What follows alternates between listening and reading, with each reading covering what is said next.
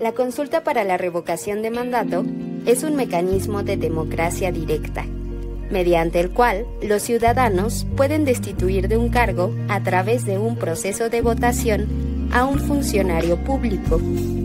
Esta decisión se toma en las urnas por ser un mecanismo de democracia directa.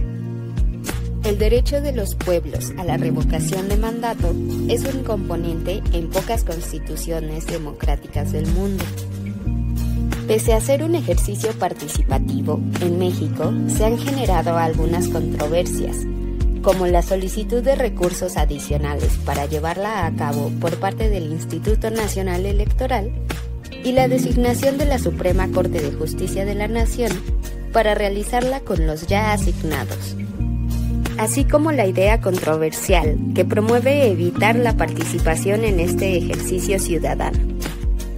¿Quién puede convocar la consulta ciudadana? Pueden ser convocadas por el Congreso de la Unión a petición del presidente de la República, por integrantes de cualquiera de las dos cámaras del Congreso o por los ciudadanos. ¿Qué sucederá con los resultados? La revocación de mandato solo procederá por mayoría absoluta, es decir, cuando el Tribunal Electoral del Poder Judicial de la Federación indique que la participación total fue de al menos 40% de las personas inscritas en la lista nominal electoral. El resultado será vinculatorio para la persona titular de la presidencia de la República, es decir, se ejecutará la decisión que determine la mayoría.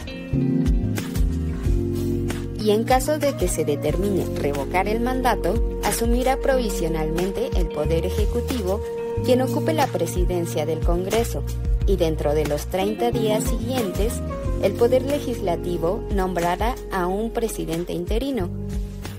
Recuerda que la consulta popular es el instrumento de participación por el cual los ciudadanos, a través del voto libre, secreto, directo, personal e intransferible toman parte de las decisiones de los poderes públicos respecto de uno o varios temas de trascendencia nacional o regional.